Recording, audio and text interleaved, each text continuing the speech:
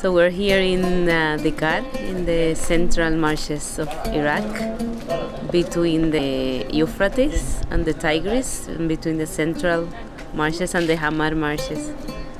You go still now to the south of Iraq, you see the marshes, which are uh, wetlands uh, that, you know, during the floods and the tides, they, they fill with water, and there's fishing there, there's uh, buffalo, water buffaloes that live in the in the marshes. The water buffaloes give milk. Uh, there is the reed that grows in the marshes, and this is one of the source of incomes. This is how you know the culture has persisted all over these thousands of years. نسكن على سنين طويلة وبعيدة المدى أجداد أجدادنا سكنوا في أهوار الشبايش.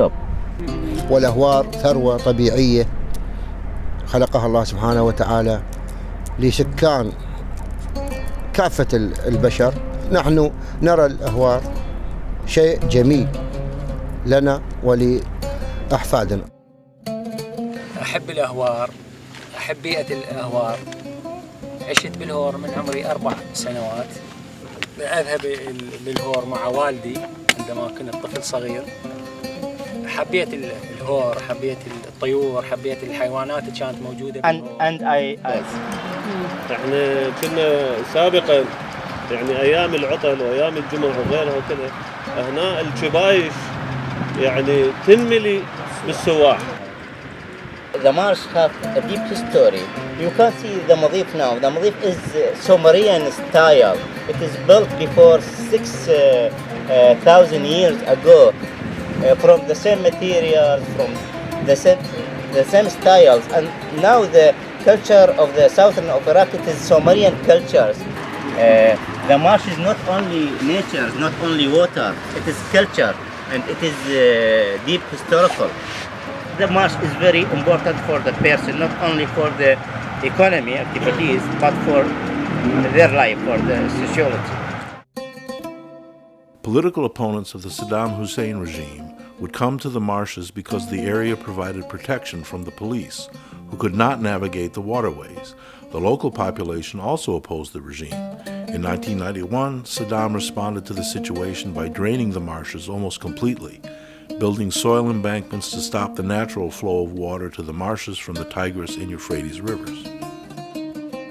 Most of the people here in the southern and the marsh, they need a freedom, and Saddam regime have haven't a freedom. And some of the policy man from the another side of Iraq is come here to the marsh you see? Uh-huh. because the marsh is good defense area for them. The, the reed is very higher and there is a water and the soldier did not can able to go in, in inside the marsh to catch them.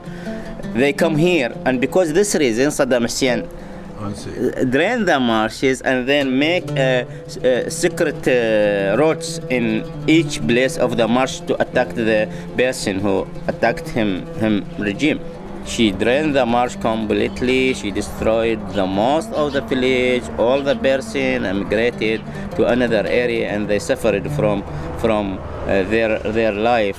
Before 91, the total pop of, uh, population of the Chibaish is 60,000 person. When the, when uh, Al-Ba'ath regime drained the marsh uh, during 91 until 2003, oh, the most of the people uh, migrated and to another area that there is a water, there is a canal, there is irrigation uh, canals in, in, in the uh, in Babylon or Fallujah or another area. And only still in Chibaish, 6,000 6, people from 16, 16. After Saddam fell in 2003, local people broke open the soil embankments to allow water to flow into the marsh area again. After 2003, when the water returned back to the marsh again, the, the, the person returned back to the marsh, and now the population of Chibaish is uh, 62,000. Why they return back here? Because they depend on the marshes for the activities of economy. uh, the most of the people uh, can fishing, can uh, buffalo breeding, or like this. And also the uh, sociality of, of, of here is very, very stronger. Everyone know everyone in the village. Everyone have a relationship with everyone. Today, the marshes face renewed threats to its water source from drought, lack of an international agreement on water management for the Tigris and Euphrates rivers, inefficient irrigation practices, and especially from a series of dams Turkish government plans to build on the Tigris River.